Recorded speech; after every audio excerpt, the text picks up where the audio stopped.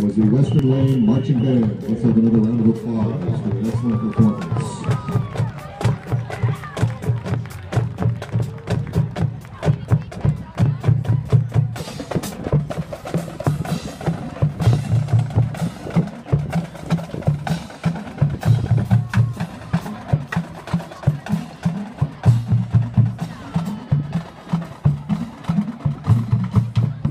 Ladies and gentlemen, we have the winning 50.